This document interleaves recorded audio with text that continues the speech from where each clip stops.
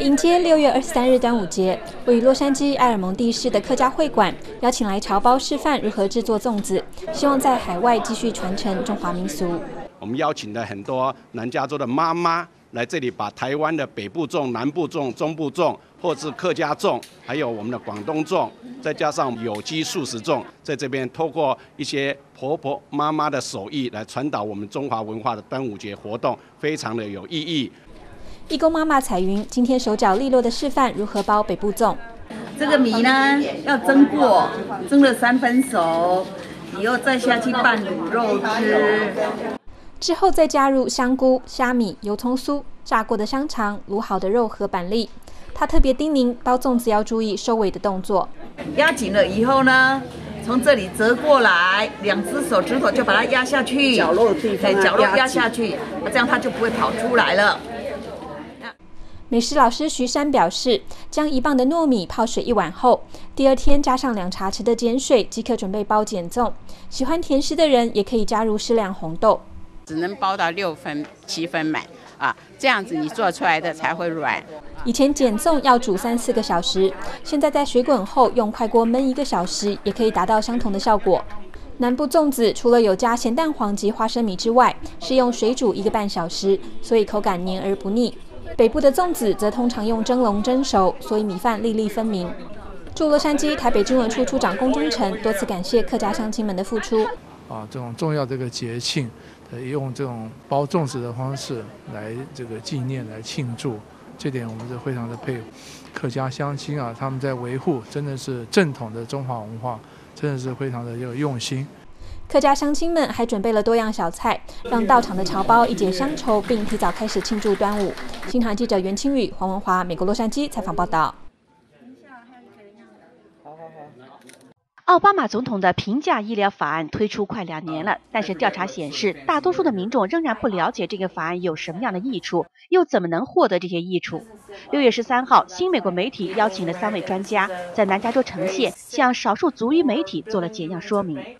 阮梅芳医师指出，目前美国的医疗保险系统几乎破碎，五千万人没有医疗保险。平价医疗法案从二零一零年起在逐渐的推出实施，目前生效的部分已经使成千上万的人受益。他们中包括十九岁以下已有病情的未成年人。依据平价医疗法案，私立医疗保险公司不能拒绝给他们提供保险。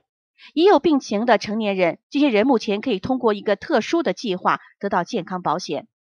二十六岁以下的年轻人，如果他们自己无法获得医疗保险，可以跟随他们的父母，享受父母的雇主提供的家庭医疗保险。二十五人以下的小公司，雇主为员工支付医疗保险费用的百分之三十五可抵税。平价医疗法案也给享受政府医疗保险的六十五岁以上的老年人和残疾人带来了不少好处。Kate Kazabon 是政府医保中心的代表，他强调：There are lots of good things that the Affordable Care Act is going to do for the senior population, including uh, changes to the uh, Part D benefit for drugs, changes to other parts of the Medicare program having to do with um, um, health exams and preventative care. 当他们的处方药费用达到很高时，会得到一定的补助，并且也可得到免费的预防性检查，如乳房 X 光检查、血压检查、HIV 检查等。平价医疗法案尚未推出的部分，将会在今后的两年里全部推出。平价医疗法案的反对者们仍然在努力推翻这个法案。六月底，最高法院将对这个法案中两个主要条文的合法性进行表决。新唐人记者张红、王斌，加州城县报道。位于旧金山的新海湾大桥即将于二零一三年完工，造价六十三亿美金的大桥有很多部分是在世界各地打造，再运到洛杉矶组装。位于洛杉矶的维斯特蒙特公司设计制造了专门用于维修的桥底滑行车，将被配置在自锚式悬吊桥身的底部。由于该桥身独特的设计，与其搭配的滑行车需要完全克制化。because we have large earthquakes in Northern California, we have to have these seismic joints that are built into it. And our travelers have to be able to go across those joints. The bridge also has a curve built into it. So we need to design a traveler that could curve with the bridge. These can do all of that. 新海湾大桥共分为四个部分，分别为奥克兰着陆段、天空道路、自锚式悬吊桥身、 和饶伯布纳岛中转站。所有大型钢铁大桥都需要定期维修，才能确保使用安全和达到使用年限。而维修靠的就是这种桥底滑行车。滑行车两侧可以向上伸展约三十至四十度，以配合桥身的外观设计。车身很多部分是以手工打造，靠的是经验老道的技师和一双巧手。Yeah, our our workers are highly skilled. They're craftsmen. They'll take very large pieces of steel and custom form it into very intricate shapes for really unique purposes. 新唐人记者苏香兰、张一渊，美国洛杉矶采访报道。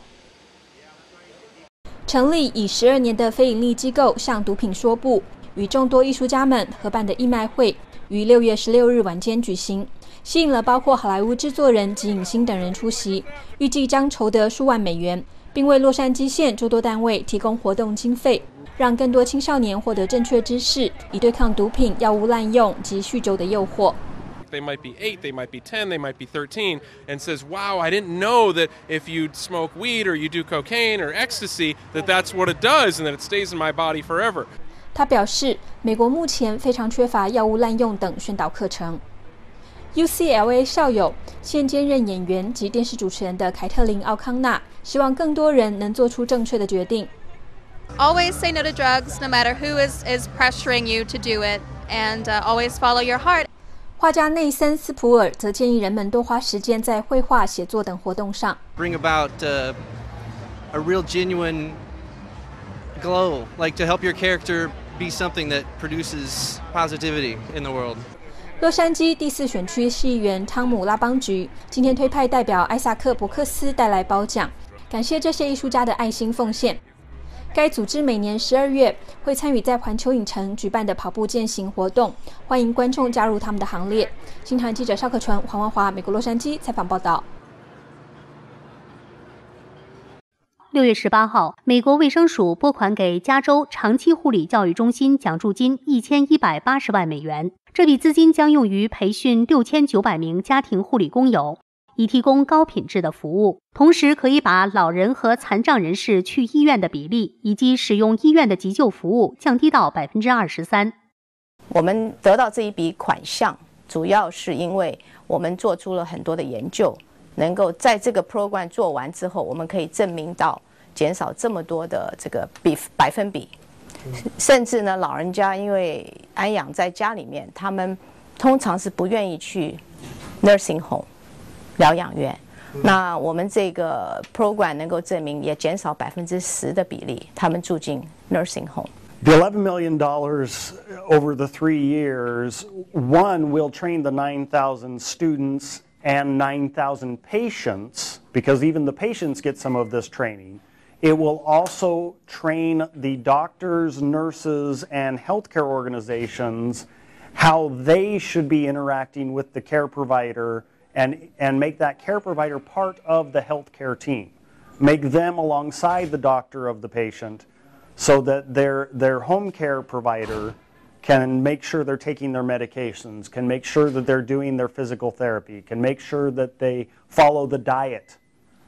that is prescribed by the doctor, and then is able to go back to the doctor and follow up and say, the patient is doing great on this, or they're having problems with this medication. It makes them forgetful or it makes them very sleepy, and being able to interact with the doctors to help the patient.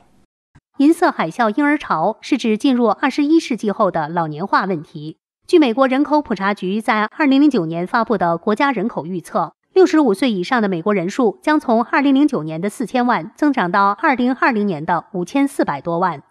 在呃，我们全国联邦的劳工局的这个数字显示啊，在二零二零年的时候，我们的家庭居家看护的这个工作是最大的需求，成长最快的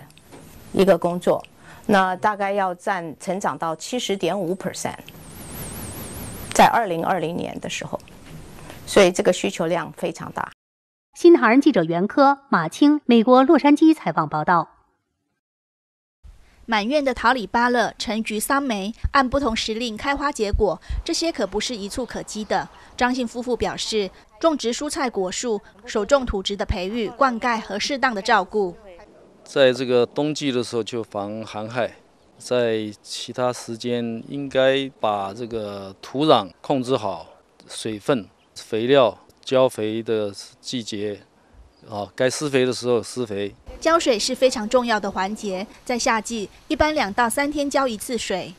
然后浇一次的话，我就给它灌到差不多呃五加仑的那个那个水量，让它水分呢升直到它的那个根部，这样子的话，它这个根不容易烂。但是呢，它又可以在底部能够吸收到水分。如果说是天凉了以后呢，甚至于你一个礼拜浇一次水，或者五天浇一次水，啊，都可以。莲雾、龙眼等热带植物受到很多人的喜爱，但因为需要严格控温，比较不容易照顾。当温度降低到华氏三十七度时，就会受到寒害。一看到温度低的时候，就一定要这个做一些防护措施。那我们有的时候就是拿拿塑胶